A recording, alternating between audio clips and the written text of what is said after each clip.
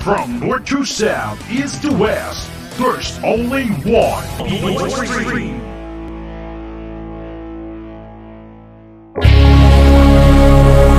Tuklasin, tuklasin, tuklasin natin.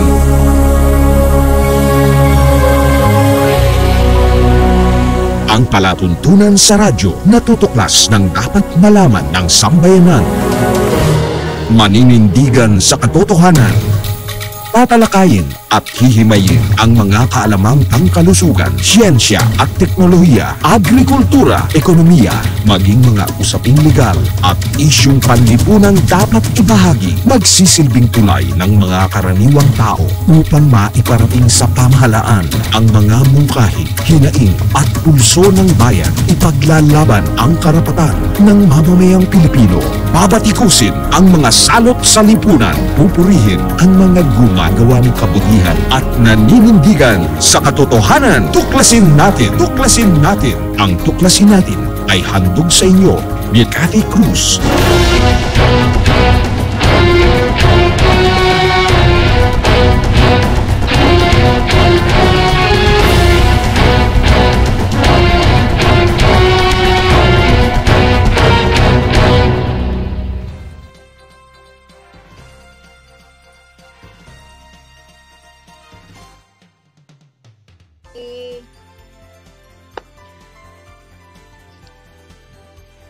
Magandang gabi Pilipinas, magandang gabi Luzon, Visayas at Mindanao.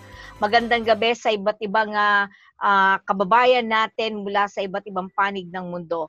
Welcome po sa ating palatuntunang tuklasin natin at ito po ang inyong lingkod, Gaffy Cruz, na inyo pong makakasama sa loob ng isang oras. Ngayong gabi po ay makakapanayan po natin ang isang ah, chief engineer mula sa barko. Ang kanya pong karanasan ay hindi po matatawaran dahil halos apat na dekada ang ah, kanyang karanasan pagdating sa usaping ah, seafaring. Yan, seafaring industry. At ah, siya po ay ah, isang ah, marine engineer. Siya po ay nakapag-aral sa Western Institute of Technology sa Iloilo City. Bukod doon, siya po ay ah, ah, may training center dati at ah, review center ng marine engineer.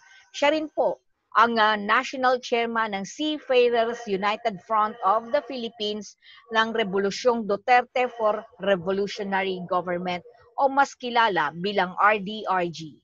Papakilala ko po sa inyo gabi at makakausap po natin siya tungkol sa mga kwento at mga dapat nating ah, bantayan din pagdating sa usap usaping maritima o maritime yan. maritime industry. Yan, marami tayong matututunan. Walang iba kundi si Chief Engineer Bienvenido Lorque. Magandang gabi po sa inyo. Ah, maganda rin gabi rin Kate. Mhm. At ah, maganda magandang gabi sa mga nanonood sa ngayon. Okay.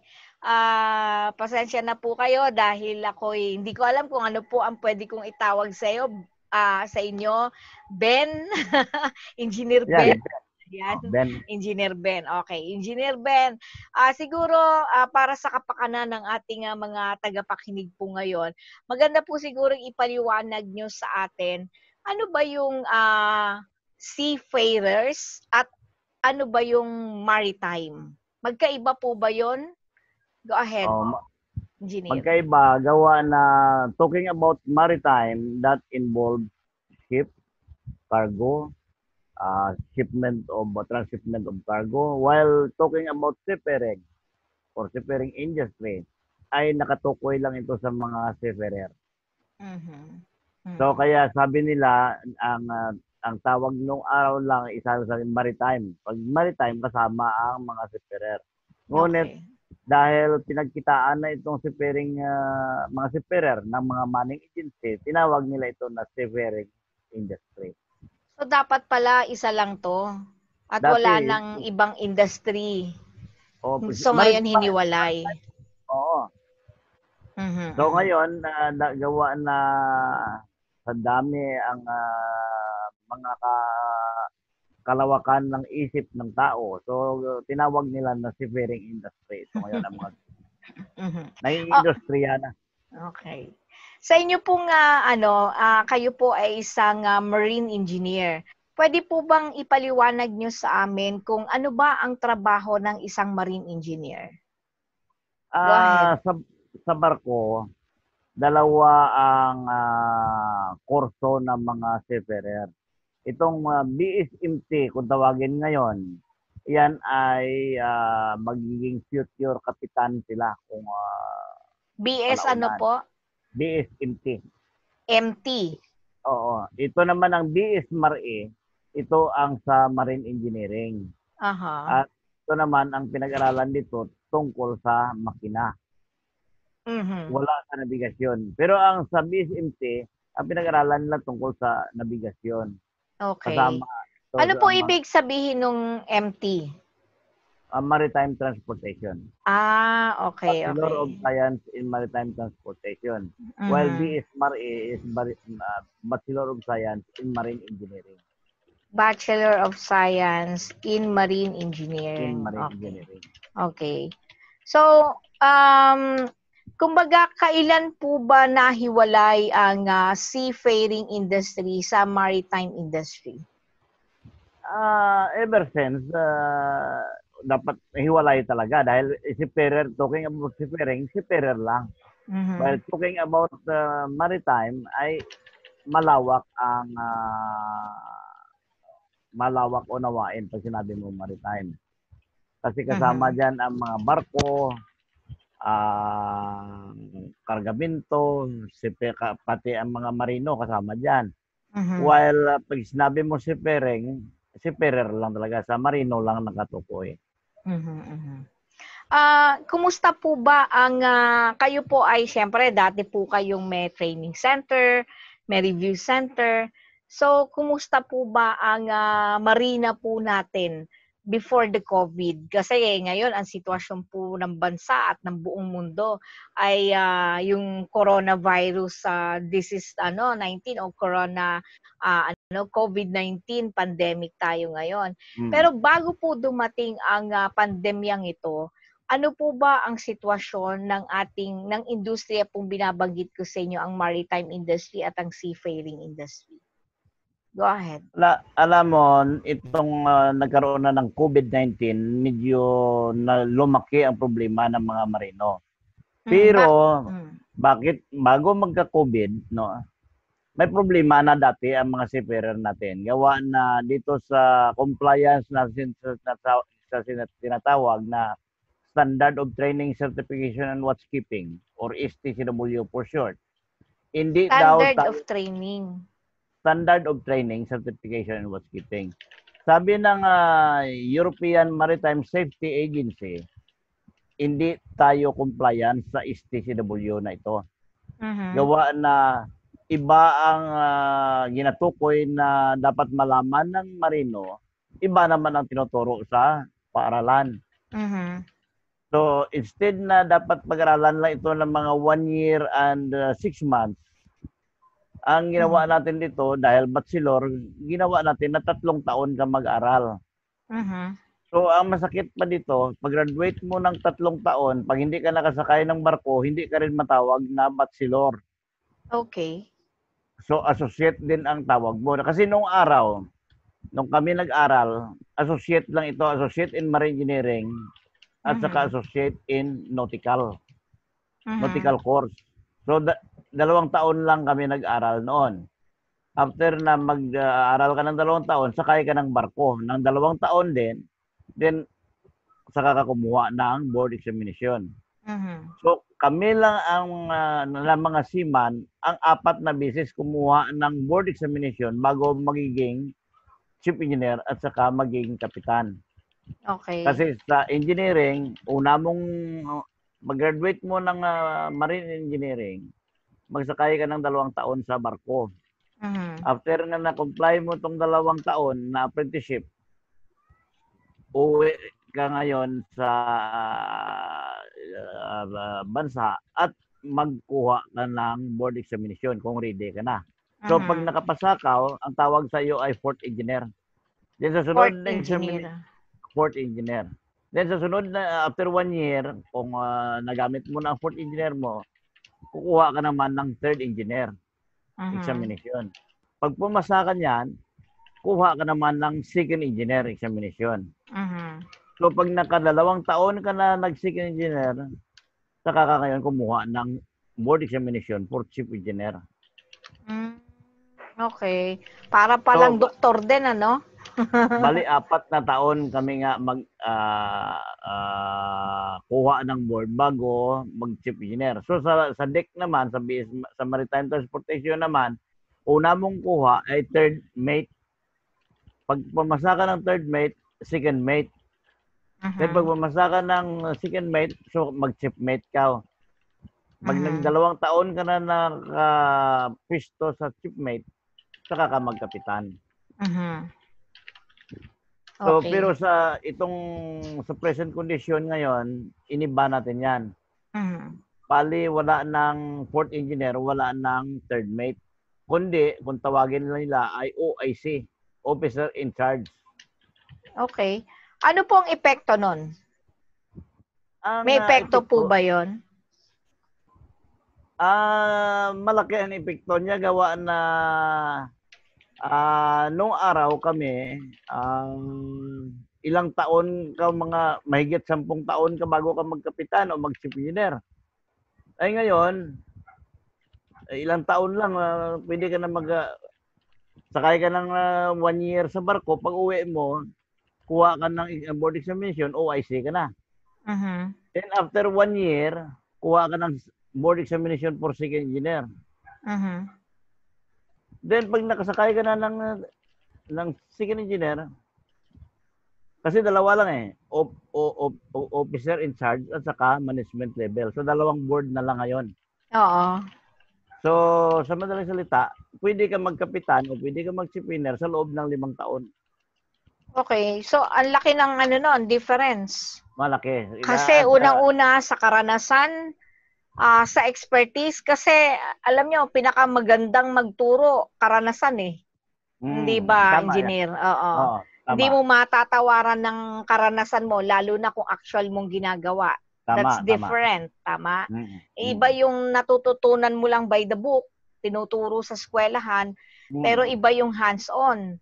mm, 'Di ba? Yun naman Tama, yung tama. laging ano at ah, syempre yung actual na ginagawa mo na mismo nasa barko ka, yung mga karanasan mo doon, marami kang ano yun eh, natututunan mo yung No. do's and don'ts, 'di ba? mm, At ah, dahil nakikita mo na yung ano, ah, madalas mas ano, mas magaling yung ano, yung experience mo na natutunan mo sa eskwelahan, hindi ba, mm, engineer? Tama, tama.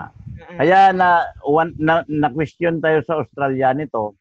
Gawa na Mm. pag sam- nung sumampa ang Australian uh, Maritime uh, Safety Agency or AMSA. Napansin niya apat ang kapitan sa barko. Oo. Pero ang apat na kapitan na yan, ang posisyon nila sa barko, isa ay third mate, isa second mate, isa chief mate, at saka isang kapitan. Okay, So, bakit tanong- ganon? Ay maaga pa sila nagkapitan, nagkaroon sila ng uh, ng uh, lisensya na sertipiko na kapitan sila. Mhm. So, ang tanong ng AMSA, sino ba sa inyong apat ang tunay na kapitan? Dahil puro kayo kapitan, puro kayo may sertipiko. Mhm. So sabi nila, "Ay, ito ang ah, tunay na kapitan. Itong iba nito, ito chief mate, second mate, saka third mate. So, eh sabi Okay. ko nga sa Marina, hindi maganda yan. Alam mo kung bakit? Nag-reflect yan sa ah, moralidad ng mga marino natin. Kapitan ka, bakit na third mate ang posisyon mo? So, ibig Mhm. sabihin, ah, sa papel ka lang pala tinatawag na kapitan, pero sa posisyon mo, eh, hindi mo nagampanan ang pagkakapitan. Oo, oo. So, At saka tra- mukhang at saka engineer mukhang may problema tayo kapag ka ganun. Ah, pagdating sa operation sa bar- sa Mm, barko, mm. kaya siguro marami ang uh, nadidisgrasyang barko ngayon kumpara nung araw. Oh, tama. Kasi medyo mataas ang ego ng isa dahil sabi niya pareho lang naman daw kapitana. Pero ang posisyon oo, niya, oo. Ang posisyon niya ay mababa. So parang ah, may may may conflict of interest ang bawat ah, galaw ng tao. Although sabi niya wala sa akin 'yan. Pero alam mo may ego ang tao eh. Oo, hindi. Tsaka pati yung, alam mo, dahil sa ganon, ang mangyayari dyan, sabihin na natin ng realidad, napupolitika. Tama, tama. Napupolitika ang posisyon sa kahit na anumang barko kapag ka ganun ang nangyari. Maliban pa dyan, dahil pinasok to ng korupsyon, may graft and corrupt practices na involved, kahit kaunti ang ah, kaalaman, pareviewin mo lang siya ng limang daan na question o 300 na question. Mhm. Pag ah, nagkuha ng board examination, perfect. 100%. Talaga? So ang tanong, ang tanong, lahat ba na problema sa barko ay alam mo kung dahil 100% ka. Oo. Yun lang, nag 100% ang ah, score niya kasi yung ah, review natin na, na, na, na ibinigay sa kanya, yun din ang lumalabas doon sa board examination. Teka lang, Kaya kung- ah, engineer, mukhang nakakatakot siyang ganyan. Mm. Oo, kasi alam niyo po kung bakit nakakatakot. Kaya nga po ano eh, parang kaya nga po meron tayong tinatawag na ah, ano eh, yung kumbaga po bawal yung leakage Tama. at yung review center ay kinakailangan hiwalay dun sa nag-exam, hindi po ba? Oo. Oo. Kaya kumbaga parang pagka ganyan po ang nangyari, eh magkakaroon po tayo ng problema, engineer. Malaking problema. Kasi sa Oo. amin noon, nung kumuha ako ng chief engineer examination, ang questionnaire na na familiarize namin ay mahigit 25 mil.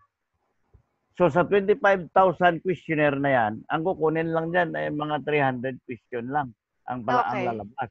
Okay. So sa madaling salita, malawak ang kaalaman mo na nakuha gawa sa dami mong binasa. Mm, Unlike ngayon, unlike ngayon, bigyan mo lang ang mata ng ah, 500, 1,000 o mataas na yung 3,000 question. Okay na sa kanya, pasado na yan. Ah, Madali, madali niya ma- mapamilyar. Tanong ko lang, Ay, engineer, sino ang nagbibigay ngayon ng exam? Ah, dati, ah, PRC, Professional Regulatory Commission, Okay. Nung i- i- isinabatas ng ah, angkla or ah, party list ng Siman na Mhm. inilipat ay, Angkla? ah, angkla. Oo. Ah, gumawa sila ng batas, Republic Act 10635 at inilipat ang examination sa Marina. Okay. So, kinwestiyon ko yan ang ah, paglipat gawaan na sa PRC. If you pass the board examination given by the Professional Regulatory Board or Professional Regulation Commission, automatic Mm. ka magiging ah, ah, eligible, civil service eligible. Okay. Unlike sa Marina, sa Marina, walang batas na nagsasabi na pagpasa mo ko sa examination sa Marina, automatic ah, qualified ka sa civil service eligible agad. No, walang Mm-mm. ganyan. Ang Mm-mm. gina- Gawa na lang nila, nung kinwestiyon namin yan, nagkaroon sila ng parang ah, resolution or ah, parang memorandum of, ah, of understanding or memorandum agreement na pag Oo. Pumasak examination sa Marina, considered na rin na ah, civil service eligible count. And that is kako contrary to Republic Act 1081 kasi sa Republic Act 1081 napakaliwanag yung sinabi those who pass bar examination uh, and uh, the examination given by the Professional Regulation Commission is automatically recognized as civil service. Yes, exactly. Actually po, ah magkaiba po kasi kapag ka civil service eligibility. Hmm. Ah, so 'yan po kasi ay parang ah ah, lisensya mo 'yan para pwede kang magtrabaho sa gobyerno permanently on permanent status. correct, correct. Requirement po 'yan. Hmm. Pero syempre, ah, mas mataas kung tutuusin kapag ikaw ay pasado na ng board exam Hmm, ng hmm, prof- hmm, hmm. Na inano, nakapasa o ginawa, binigay ng ah, Professional Regulatory Commission. That's Correct, different. Dahil Mm. ang expertise mo pagdating sa kurso kung anong meron ka like lawyers, Hmm. teachers, yan. Kasi ano pa yan eh, that's the professional ano mo eh, ah, parang license Identity. mo. Oo. Identity, mo yan. ikaw ay doktor, ikaw ay abogado, ikaw ay So magkaiba po 'yon. But again, kahit na po ano, kung sino man yung papasa sa PRC sa mga board exam na 'yan, automatically they can actually enter because they have the professional expert na Correct. tinatawag. So Mm. malaki po ang diferensya ng dalawang 'yan, Mm. engineer. Kaya nag-file kami ng ah, petition for certiorari sa Korte Suprema. Ngunit Okay. hanggang ngayon, hanggang ngayon na natulog. Aywan ko kailan nila maisipan na, na i-recognize. Ah. Eh, na, lalo na ngayon, COVID, medyo Hindi. may problema sa ano. Then, Mm-mm. ito ngayon ang malaking problema ng mga marino gawa na in 2006 Mhm. nag, nag, nag nagbigay audit ang ah, European Maritime ah, Safety Agency. Mhm. So nung inauditan tayo, hindi tayo pumasa dahil marami ang deficiency na nakita ng IMSA for sure. Mhm. Yung IMSA, ay European Maritime Safety Agency. Mhm. So sa madaling salita, sabi ng IMSA at saka IMO, okay, sige na, bigyan ko kayo ng panahon para na i-comply nyo, i-rectify ninyo itong mga deficiencies ninyo. Pero Gaano since, katagal? Meron bang ah, parang ah, deadline ang Mayroon. pag-comply? Opo. Kailan po may- ito? since 2006, hanggang ngayon, deficiency pa rin tayo, hindi tayo nakakomply. So, ibig sabihin, Oh, may problema tayo yon engineer, pagka ganon. mm, Kapag ka hindi tayo compliant, may problema. pag Kasi, hindi tayo compliant, ma-blacklist tayo sa International Ex- Maritime Organization. exactly. So, ang ating mga seafarers, syempre, Hindi- anong hindi aasahan nila- mo? Hindi They are nila tat- hindi hindi nila nila tanggapin sa tatanggapin. Exactly. Hmm. Kasi nga, ma- alam ng ano, alam ng ah, international o ng European Maritime Safety Agency na hindi sila qualified for the No, position. They At are saka- qualified. They are qualified, but they are not complying the standard of training certification and watchkeeping provision na mandatory dapat na i-comply ng isang bansa na nag-ratify ng STCW So, Convention. we're talking of bansa pala, hindi Mm. lang pala yung mismong industry. Hindi lang. Sino po ang Because- dapat mag-comply nun in particular? Is it the ano, ah, Maritime The Industry the government. Authority? The government, on behalf of uh, the government, si Marina dapat. Si Marina dapat. Oo. Dahil sabi ni Okay. sabi sabi ng Republic Act 10635, Maritime uh, Industry Authority will be serving as single maritime administration. Mm-mm. Ngunit single maritime administration sila and is uh, supposed to be they are uh, the one to control. Ngunit itong Commission on Higher Education ay walay. Mhm. So sumusunod ang Commission on Higher Education doon sa constitutional uh, provision na kailangan uh, mag-resal, magkuha ka ng resal kung bachelor En- Engineer, babalikan ko lang ah. Republic Act 635. 10365. 10635. 10635. Oo. Okay. Yan ang ah, batas ng nailipat doon sa maritime sa marina ang uh, board examination gawa na sabi ni ni Manalo single maritime administration ang marina. Okay. So samantala na may Republic Act 4 ay, ay ah, Presidential Decree 474, 474 na may mandatos ang Marina original na kagaya niyan magrehistro ng mga barko, mag, mag, mag- magpagawa ng mga bakal na barko, ay, itong mga ah, wooden ah, vessel natin dapat itanggalin na yan kasi delikado. Wooden Ngunit- ano? Ano po yung wooden? Mga bangka ba? Yung mga wooden bangka. ah, mga wooden vessel. Oo. Mga Ngayon, bangka. Dapat po pala talaga bawal na yon? ipinagbabawal yan.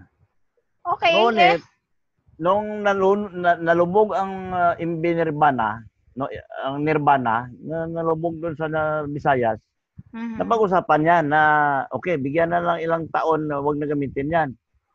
Mhm. Itong late naman, nalubog naman doon sa Iloilo, nalala mo, nung nalubog doon sa may Gimaras, ng mga bangka na nung nagbagyo. So, Oo. pinag-usapan naman ulit yan. Yan nga kung ang Bakit hanggang ngayon ba, engineer, meron pa tayong mga wooden vessel? Meron, meron. Kaya yan, sabi ko nga, ang mali natin, alam mo kung bakit? Ang Presidential Decree 474 ay tinutukoy yan ni Presidente Marcos na i-modernize ang ah, maritime industry. Ngunit dahil sa korupsyon, sa korupsyon, hindi natin ma-modernize ang industriya. Alam mo kung bakit? Hmm. Pag nagparehistro itong may-ari ng mga bangka, maglagay lang, rehistrado na. Ay, may problema tayo doon, engineer. Malaki. Malaki ang Te- problema. teka lang, ikaklaruhin ko lang po ah. Ah, ba- barko o bangka, bawal ang wooden vessel. Oo. Kasi parehas pong ano yan eh, ah, sasakyang pandagat eh, 'di ba? Oo. Hmm. So, meaning hanggang ngayon meron pa tayong mga wooden vessel. Hanggang Oo. ngayon, meron Hanggang pa ngayon, rin. meron pa. Mm. Okay. So, um, meron po bang tinatawag tayong standard na yari talaga ng isang barko o ng isang ah, bangka? Engineer? What do you mean? Yung What do you mean? ibig kong pong sabihin, para bang yung standard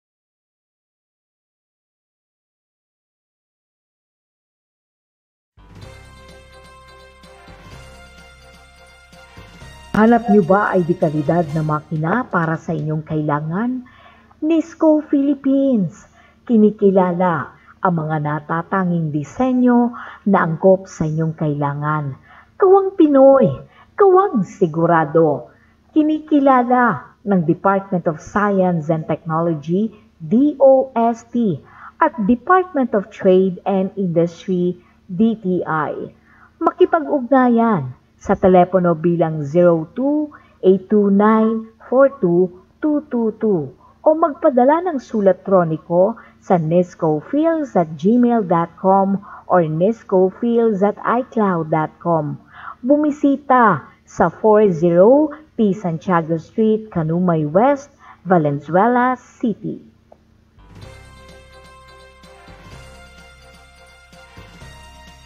Okay, tayo po ay muling nagbabalik sa palatuntunan pa rin ng tuklasin natin at syempre ito po ang inyong lingkod, Kathy Cruz, na inyo pong ah, nakakasama sa loob po ng isang oras. Sa lahat po ng ah, nais pong ah, ah, nais pong ah, magkomentaryo sa ating pong talakayan o kung may nais po kayong itanong, mag-text lamang po kayo sa 0915-2584-091 o mag-iwan po kayo ng inyong mensahe sa atin pong ah, Facebook page kung saan nyo po ako natutunghayan ngayon. Okay, muli tayo nagbabalik, Engineer ah, Ben Lorque.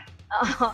napag-uusapan natin kanina yung wooden vessel. Kasi Oo. this is the first time that I heard na bawal na ang ah, wooden vessel, bangka o barko.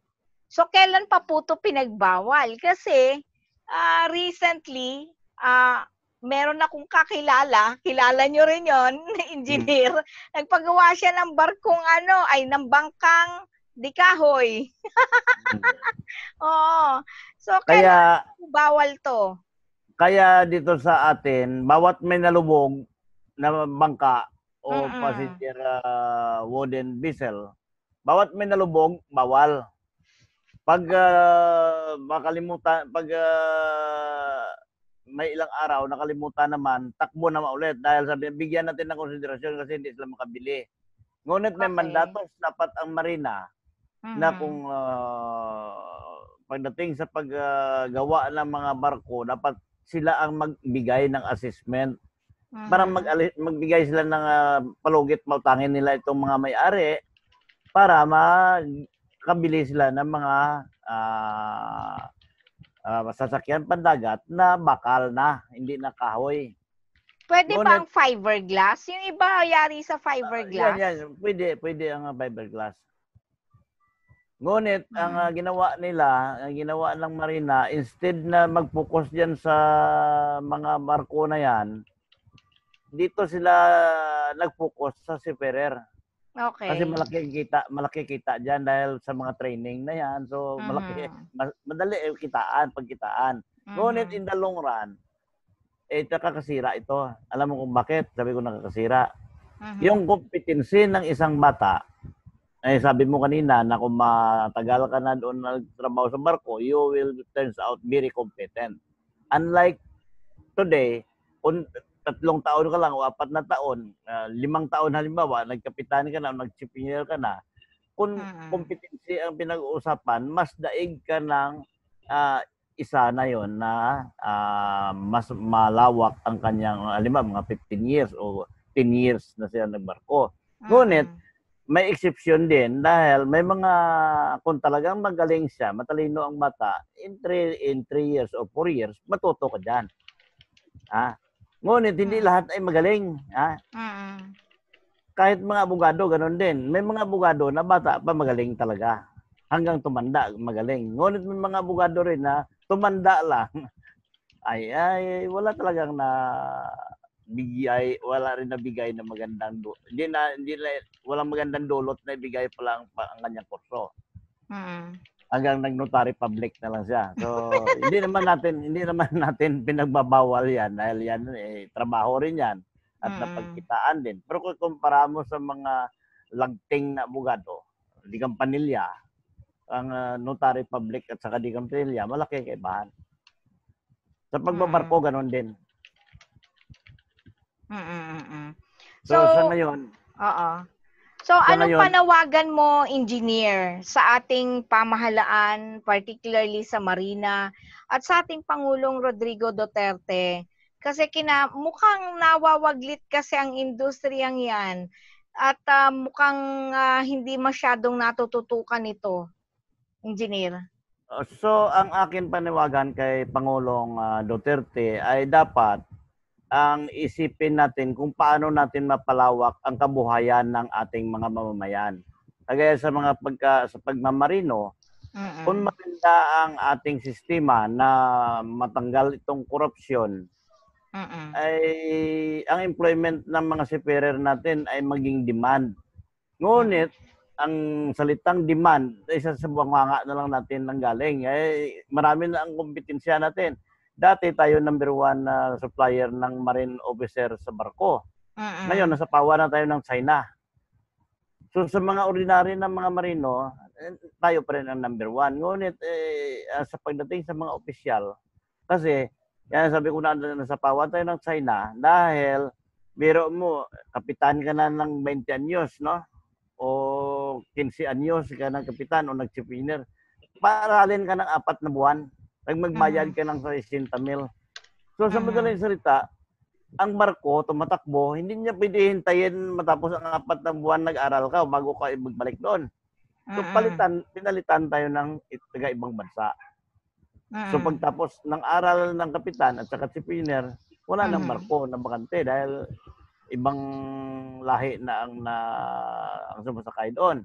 Mhm. Din pangalawa, eh, sabi ko nga na yan na panawagan ko na itong Republic Act ah, 9483 Mm-mm. na ang ah, sinasabi dito ay dapat sa bawat litro ng langis na deliver ng mga barko dito sa atin, no? Sa Pilipinas, Mm. magbayad sila ng 10 centimos. So sa 10 centimos Sa bawat barko na na nag-deliver ng ah, petrolyo o oil Oo, kanino magbabayad? Sa marina, Sa Marina, Mandatos. G centimos? 10 centimos bawat litro. Ah, bawat litro. Okay. Oo, para kung halimbawa nagkaroon ng mga pollution o halimbawa may pollution, may gamitin tayong pira. Mm, mhm, Ngunit mhm. dahil sabi ko nga may problema ang seaman natin, una-una wala tayong mga barko. Kung basihan natin ang ah, 2012 na na deliver ng ah, ah, mga lang mga lang mga langis pala na, na, na deliver ng mga barko na araw-araw nag-deliver sila ng 82 million liters. Mm-mm. Ibig Ako teka lang, engineer, kasi bago tong impormasyon na to, are you saying dapat ah ini-implementa na to? Na implement ito ngunit ay nag-TRO sila na huwag implement daw kasi Si, sino ang nag-TRO? Yung mga may-ari ng yung may-ari ng gasolina? barko. ah, may-ari ng barko. Oo. Okay. So sa madaling salita, nagkaroon ng kaso na, ng problema sa Korte Suprema. Ngunit noong July 24, 2018, Mhm. nag, nag, nagbigay ng desisyon ang Korte Suprema na dapat magbayad sila. Oo. So kung singilin ito, ang Gisintimos nito, base sa 2012 na ah, langis na nagamit natin araw-araw, na 100 million liters araw-araw ang konsumo natin. Base sa 2012 yan ha. So dapat may 10 million tayo na collect, collectible araw-araw. 10 million pesos? 10 million pesos araw-araw. Alam kaya na presidente to? Kaya yan ang inapaulit-ulit ko na salita na dyan sa Mindula para malaman nila na mayroon palang Mukhang hindi nila alam to, engineer. Malamang. Paparating natin. Huwag alam, mag-alala. kung alam man nila yan, pero Teka. ginapa, May kopya po ba kayo ng dokumentong to, engineer? mayroon. Ang court, Supreme Court decision, mayroon ako. Okay. Pwede nyo pong ah, maipadala sa akin na soft copy. Kahit i-scan nyo lang po, tapos send nyo sa email ko. Okay. Pakibigyan Ano, eh, nyo po ako. Decision eh, po. Oo. Ibigay mo ang email mo doon sa Sige po, Messenger isi-send para- ko sa messenger. Kasi Oo. napakahalaga nito dahil naghahanap ang ating pama- pamahalaan ngayon, engineer, ng pera Hmm. para gagamitin dito sa ating pandemic, sa ating pandemya. Mm, mm. Kasi ah ah, I cannot imagine ang habang ang gobyerno natin ay namomoblema sa pondo, meron tayong ah, mga oligarko na siyang nagmamay-ari ng tubig at kuryente, maging ng internet natin. And here we are, again, oligarko na naman ito, na may mga ari na mga barko, Mm. ano? Tapos dapat kumikita sa kanila ang pamahalaan para ibinibigay na serbisyo sa mamamayang Pilipino. Tama. So this is not good dahil hindi ito nagagawa at tila natutulog. Hanggang ngayon wala pang desisyon nito, engineer. Meron na decision. Pero Meron na, desisyon pero hindi pa inimplementa. hindi pa na kolekta.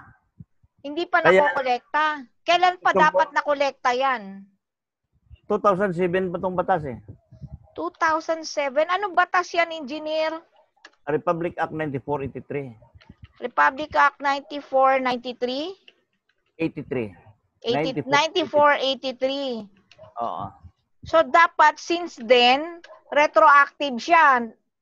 Dapat. Apan ano, dapat ganon. And this is Batas yan. Batas yan. 2007. It's already 13 years. Today is Correct. already 2020 for God's sake. Now, ngay- kaya nga sabi ko nga, kung kolektahin mo yan since 2007, sa Gisintimos na yan per liter, Okay. aabot ka ng 47 billion. So malaking bagay. Kung ibili natin ng barko Yes. ito, kung ibili natin ng barko para may isakyan ang mga marino natin kung ayaw na nila tayo papasampahin doon sa kanilang barko sa. Europe, May sarili tayo. may sarili tayong barko. Exactly. Pangalawa, kung magtayo tayo ng National Shipping Corporation or National Shipping, uh, kung ano man ang tawag, Oo. Oo. ang kita ng barko, Na gobyerno ang humahawak. Oo, Diba? papasok sa treasury natin. Oo. Exactly. Kaya Diba? sa, sabi ng mga abogado sa Marina sa akin, Mm. pare, hindi, hindi yan pwede kunin, hindi pwede bilhin ng barko. Sabi ko, Dahil, bakit? para, Dahil sabi niya, para sa pollution yan. So ngayon, kung iwan natin sa ng mga barko, magamit ba? Hindi nga, isipin nyo kung saan ang mabuti. Kuliktahin natin, ibili ng barko, o pabayaan lang natin doon sa bulsa actually, kung pwede naman siyang i, ano, eh, i-amend eh. Kung pwede siyang amendahan, pwede siyang amendahan, engineer. Hindi, kagaya nito eh, kagaya nito eh. Emergency ito eh. Yes. Pinauwi, pinauwi ng mga sima natin. Wala Yes, nang- yes. Correct. Ay, Oo, wala hindi- silang hanap buhay. Hindi natin gamitin tong pira dahil sa gobyerno rin ito. Correct. Ibili, ibili mo na ng barko at ang kita, balik natin. Correct. Correct. At saka para sa mga panahon na katulad dito, engineer, walang lumilipad na eroplano. Hindi ba? Mm. Walang Mm. pag-aari naman na eroplano ano maliban sa gamit lang ng ating pangulo, hindi ba? Mm. Mm. O pa, gamit ng mga helicopter na gamit ng ating mga kasundaluhan ng Armed Forces of the Philippines. O may meron man tayong mga barko sa Coast Guard. Eh di, para meron tayo para sa mga seafarers natin. At Dapat. kung sakali meron tayong mga pandemya na katulad nito, meron tayong sariling barko na pwede nating kunin. Yung Mm. ano, nasa kalagitnaan ng ilang mga seafarers natin na nasa kalagitnaan, nasa laot. Mm. 'di ba? Walang tumatanggap. Gusto nilang umuwi, hindi sila mapauwi. O di Alam mo, tayo ngayon. Alam mo sa ibang bansa, kagaya ng Panama, Mm. Liberia, wala sila mga seaman. Ngunit malaki ang kinabubuhay nila sa pagrehistro ng mga barko. Kaya itong Mm. si Marina, may mandatos ito base sa Presidential Decree 474 na dapat magpari, magrehistro tayo ng mga barko para doon kikita tayo ng ah, Okay. revenue. Teka, engineer. Magparehistro ng mga barko. Alam mo ba na ang ah, Bureau of Fisheries and Aquatic Resources ay may registration ng mga fishing vessels? Mm. Okay? So, hindi ko lang alam kung ah, may connection ba yan dito sa binabanggit mo. Ang ang ibig ko sabihin, ang uh, BIFAR, may mga sarili silang barko, no? Okay, yes, yes. Ngunit, i-rehistro mo yan sa Maritime Industry Authority, sa Marina. Mhm, Lahat mhm. na barko. So, maliban yan, kung halimbawa itong mga barko sa Korea, sa ibang bansa, ang flagship na halimbawa Pilipinas, no? Oo. Bumaba, nagabayad sila sa atin. So, ang ginabayad nila sa atin, income ng gobyerno yan. Lahat ng papasok na barko. lahat na kung bawasan natin ang atin na halimbawa may babayaran doon ng for example lang ha for- example kung 1,000 ang singil sa ibang bansa gawin natin natin na 700 na lang o 800 di marami ang mapunta sa atin Mhm. so Pera pa rin yun. that, In- income pa rin yun ng Pilipinas. by that alone kumikita tayo diyan Oo. Pero Kaya alam mo, oo, in- pero alam mo, engineer, dito pa lang sa mga ano, mga barko na ang laman eh gasolina, hmm. crudo, eh malaking pera na eh. Malaki malaki Can you imagine that? kaya kaya kaya ito eh, pinaabot ko sa Marina kag sa DOTR kag sa Malacanang dahil ang sabi ng Marina ang mga seafarer sa ibang bansa pwede mag-change crew dito sa Manila Bay. So dito sila magpalit ng crew uh, papunta ang mga foreign uh, seafarer dito at saka yung mga seafarer natin na dito magpalitan. Mm-mm. Ngunit ako, ito ang iisipin ninyo. Sabi ni, ni Doc eh, o sabi ng DOH, wala pang gamot itong COVID. No? Now, pag pinapasok natin yung ibang lahi dito sa ating bansa, Mm-mm. hindi naman pwede yan pagdating nila ay direkta sa barko, kundi mag-hotel yan. Oo. Kakain yan, kakain doon sa hotel. Magarantin din sila. Then, ang mga marino na doon sa, sa barko, ganun din, bababa yan, mag-hotel din yan, kakain din yan uh, hotel.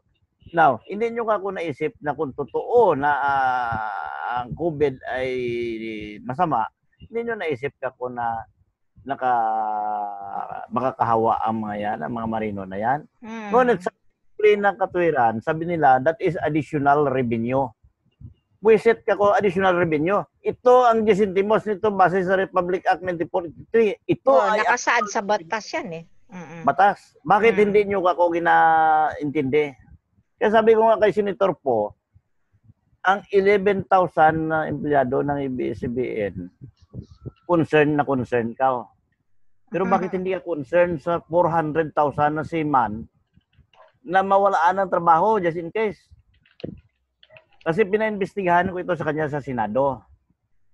Pero binaliwalaan ni po ang ah, ano dahil sabi niya pag-usapan na lang. Hindi siya sisikat siguro. Ay, O baka may- oligarko ang ano. may may, may connection diyan. May alam niya 'yan. Oo, tungkol sa oo. trade, tungkol sa training. Kailan, kailan nyo to inano kay Senator po, engineer? Ah, October 8, 2018. October 8, 2018. So hanggang ngayon natutulog. Hindi, sabi niya okay lang 'yan. Eh, hindi naman pala ano eh. Hindi Iba ang okay yun. niya. Hindi okay Iba, yun, iba engineer. ang intindi niya. Oo. Tapos dinagdagan pa ng iba na mga uh, oligarko rin na may pabor sa training na ay, ay sa mga board examination na yan. Sabi, Na. "Sige, hindi naman pala nakaka-apekto talaga ng gusto sa seaman pala yan eh. Sa mga opisyal lang. Mm. Pero doon ang buhay ng marino sa kakayanan ng mga opisyal sa barko. Siyempre. At saka hindi lang mismo yung mga ano, yung mga tauhan sa barko, engineer. Lalo na kung ah, ang barko ay ah, talagang may mga sakay na pasahero, maraming buhay ang nakasalalay. Diba? Pasahero kag kargamento, kag kargamento ang pasahero, Yes. kag ang mga marino. Parehas yan, na losses yan pagka na-disgrasya, di Tama. ba? Oo. Mm. Anyway, masarap ang kwentuhan natin, engineer, at marami akong natutunan sa inyo. This is the first time na tayo ay nagkadaupang palad at seryosong nag-usap tungkol sa mga issue na kung saan ang ah, ito yung iyong malapit sa puso, industriyang kung saan ka nabibilang at uh, nasyak ako dun sa mga information na ano, this is Kaya yan kami, ano eh, hindi masyadong Nag-usap- umiingay to. nag-usap kami ni Nabot. Nasabi ko, sabi nga ni Bot, dapat isipin ni Duterte na kumikita ang bansa, no? Lagi makakatulong. Mm. Kagaya niyan, ah, 270 billion ang binamigay natin doon sa SAP, no? Mhm. Ay kung na ginawa natin yun na ginamit natin yun para na mag-generate ka-income sa taong bayan, ay hindi, hindi sana ganito ang ah, nangyari sa atin. Oo nga. Ano ba? Gawa ka, na- tunaw ka ngayon ng mga bakal. So ang bakal mo ngayon, ay patayo mo ng building, ay, patayo ka ng building, ah, may, may, may employment ka na create doon. So ang ang building mo na yon, pwede mo naman gamitin doon sa ibang bagay. So ibig sabihin, may mga You multiplier. generate, oo, you generate jobs. Generate Oo. income. mo. Yeah. Income and job. Oo, Pero yung bigyan mo, bigyan mo ang tao ng 8,000. Kaya nasulat ko kay Secretary Anyo, kay sa Malacanang, ang 8,000 na ibigay mo sa tao, sa 25 million na tao, na, na, na, na pamilya, kasya yung 8,000 bawat isa.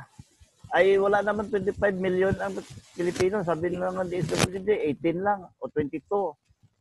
Kaya sabi ko kahit pag 25 pa, kasya ang 8,000, ay bakit limang, limang daan pa, limang libo lang binigay mo eh. Hindi parang bigyan ang iba. So saan na ngayon ang pira? So, other than that, dahil pinamigay mo na doon, ay kung kinain na nila yun, hinamagahan, dumi na. Hindi na nag-generate ng income, hindi nag-generate ng employment. Pero kung ginamit mo sana yan, kaya ito sa napag-usapan natin, na kung i- gamitin mo, yung suggestion mo siya, kung bili mo ng barko yan, hindi lang seaman ang kumikita, kundi ang mga tao doon sa pier, no? Pwede sila magtinda doon ng mga pagkain na pagbaba ng mga pasahero, pagbaba ng mga marino, kakain doon sa tindahan nila. So, ang ang job, ang ah, generation ng income, hindi lang para sa marino, kundi pati sa mga ah, tibidor, sa mga, marami ang matulungan. Mhm. Mhm. Kaso lang, ang negatibo komento ng iba, sabi niya, kung magpatayo tayo ng ganyan shipping, malulugi lang kasi uh, kurakutin din. Eh, kasi nga, ganun lang nasa isip nila. Ngayon, Anyway, ngayon, mm mm. nagrekomenda ako na dapat gumawa sila ng batas na pag nakakurakot ka ng 3 million, ang sentensya sa'yo is death. Oh, tingnan death natin penalty. Kung sino ang murakot. Anyway, ah bilang panghuling ah, pangungusap na lang, ah, engineer, ah, bigyan kita ng iyong ah, pagkakataon para meron kayong nais pang ah, mensahe na ibigay sa ating mga kababayan, sa kapwa mo mga seafarers, at ah, gayon din sa ating pamahalaan, engineer. Go ahead. Okay. So, ako ay nananawagan bilang ah, chairman ng Seafarers United Front of the Philippines. Nanawagan ako sa lahat na marito na magtulong-tulong tayo, huwag tayong magkanya-kanyahan, huwag tayong mag-underestimate sa bawat isa. Kundi ang isipin natin kung paano natin matulungan ang seafaring industry. Hindi lang ako, hindi lang ikaw, hindi lang sino kasama natin, kundi as a whole, mapakinabangan tayo ng mga mamamayang Pilipino. At ito isa sa mga bagay nga makaahon sa ah, ekonomiya at moral ng ating bayan. So Mhm. pangalawa, ang STCW na libro, huwag kayong mag-alala. Matuto kayo magbasa. Sa page 69 ng STCW, napakaliwanag dyan that IMO model course are not part of STCW code na ginabayad sa inyo ngayon. Sa isintamil, bawat training ninyo. Samantala na hindi yan. Kaya may email ako sa mga kongresista natin na they have to create a law or uh, uh, uh, enact a law na bilang guidance of interpretation sa mga international treaties and international convention. Kasi ang nangyayari ngayon, ratifikado natin ang treaty, ratifikado natin ang convention, ngunit hindi natin nasunod kasi ang nasunod natin kung paano ko tayo kumita Mhm. because of existence of corruption. Mhm. Pero kung may guide, kung may guideline, napakasimple lang kasi sa forward ng STW, napakaliwanag dito. Dito sa forward, kung basahin nilang forward, Mhm. nasabi dito, uh, in, the interpretation of this convention is governed by Vienna Convention of the Law of Treaties. So doon sa Article 31 ng Vienna Convention, napakaliwanag ang sinabi na the inter- interpretation should be in ordinary meaning. Hindi yan kung, kung, kung, kung singular, singular lang, wag mo gawin plural. So, ang ginawa nila ngayon, uh, singular nga, pero ginawa nila plural para kumita sila. Mhm. Para sa kanila lang. Pero paano yung uh, ang ang, ang uh, in- industriya, ang uh, seafaring Mm. industry? Lugi. Oo. So yan And- lang akin. Kaya nga Okay. pangalawa, itong Jacintimos Kako sa Republic Act 9483, dapat masingil natin yan. Dahil sabihin man natin na hindi pwede yan gamitin pambili ng barko, hindi pwede gamitin kung saan. Pero, bakit na-tolerate mo na manatili doon sa bulsa ng mga oligarko Mhm. na hindi mapakinabangan ng mamamayan at bansang Pilipinas? Mhm. Na mamili kayo, saan ang uh, pwede mapakinabangan natin yan? Iwan natin doon o kolektahin natin para sa ikabubuhay ng ating mga Bansa. kababayan. Mhm. at bansa. Thank you so much, Engineer. At ah, isa pong karangalan na kayo ay ah, aking nakapanayam ngayong gabi. Hanggang sa muli po, pagka ano, nandito lang po ang palatuntunang tuklasin natin. Bukas po ang palatuntunan ito para sa inyo. Okay, Maraming salamat. Engineer. Okay, inyo pong nga napakinggan si ah, Chief Engineer Bienvenido Lorque. Siya po ang ah, ating pong ah, nakapanayam ngayon na nasa hanay po ng mga marina, ng mga seafarers. Yan. Ah, siya po ay ah, kung ah, natatandaan niyo po, siya po ay ah, isa po rin nating kasama o ah, kaibigan mula sa RDRG. At ah, well, pababati ano babatiin ko muna engineer yung lahat ng ating mga taga-subaybay no maligayang Mm. pakikinig sa mga sumusubaybay kay ah, paring Levi Mercado at Edna Ranigo Takadena ng ah, Quezon City Treasurer's Office kay Johnny Abante ah, ng ah, GSD Department of Agrarian Reform kay Jane Adriano ng Quezon City Council kay ah, Jenaline Maganes sa Canada and of course kay ah, Charito o Charina ah, Garido Ocampo, gayon din kay Tita Zuzi Ocampo ng Los Baños, Laguna, kay Tita Joby Prudencio ng ah, Project 3 Quezon City, kay Nelia Gutierrez ng ah, Bicol, kay ah, Gloria o Glo Holiano ng Agrarian, and of course sa aming barangay captain ng ah, sa Barangay Payatas, kay Manny Guarin, kay Efren and Prima Erabon at Jose Poker Pangilina ng Payatas pa rin, kay Baby Roque at Larry Bernardino ng Novaliches. Ang grupo po rin ng ah, Small Power Utilities Group o SPAG mula sa Itbayat, Batanes hanggang Sitangkay, Tawi-Tawi. Yan po yung sa National Power Corporation kay Cora Baluyot ng ah, Bataan Nuclear Power Plant. And of course, sa grupo po ng Federation of International Cable Television and Communi- Telecommunication Association of the Philippines o mas kilala bilang FICTAP. At ah, sa grupo rin po ng ah, National Confederation of Irrigators Association NCIA kay Flor Istanislao ng Hulu Pilila Rizal at ah, syempre di ko pwede kalimutan ang grupo ng Women Engineers Network o WEN lalo na sila Engineer Star Bordalio at ganun din kay Engineer Jane Tapel yung aking kababayan. Maraming maraming salamat sa mga nakaagapay natin ngayong araw. Sa atin pong nakapanayam ngayon si uh, Chief Engineer uh, Bienvenido Lorque uh, sa pagbibigay ng kaalaman, of course karanasan, at uh, sa ating uh, mga lumahok sa talakayan sa pamamagitan ng mga mensahe at sulat troniko pong uh, ibinahagi sa mga tumutulong upang patuloy na mapakinggan ang palatuntunan ng tuklasin natin sa radyo o online. Sa lahat po ng naniniwala at umaagapay sa inyong lingkod, kulang ang pasasalamat. Tanging maibibigay ko ay ihatid ang katotohanan at kaalaman sa pamamagitan ng palatuntunan ito. Napakabilis ng oras, ilang minuto na lang ay magpipinid na tayo ng palatuntunan.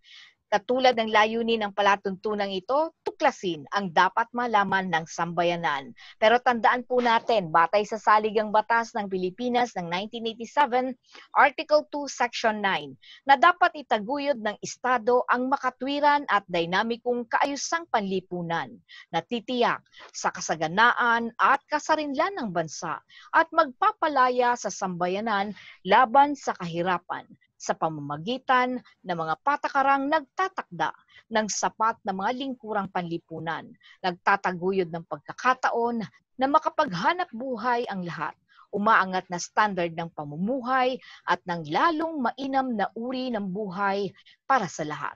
Muli na namang magpipinid ang tuklasin natin naway magsilbing gabay at tulong ang kaalamang inyong narinig at nag-iwan sa inyo ng pangmatagalang kakintalan. Sama-sama tayong manindigan sa katotohanan nang hindi tuluyang mawasak ang ating lipunan. Cathy Cruz po, ang inyong nakasama sa nakalipas na isang oras.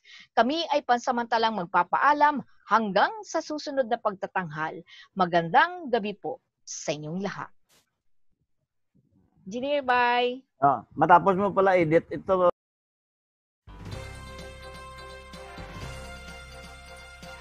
Hanap nyo ba ay dekalidad na makina para sa inyong kailangan? Nisco Philippines. Kinikilala ang mga natatanging disenyo na angkop sa inyong kailangan. Kawang Pinoy, kawang sigurado. Kinikilala ng Department of Science and Technology, DOST, at Department of Trade and Industry, DTI. Makipag-ugnayan sa telepono bilang 02-829-42222 o magpadala ng sulat troniko sa niscofields at gmail.com or niscofields at icloud.com. Bumisita sa 40 T. Santiago Street, Canumay West, Valenzuela City.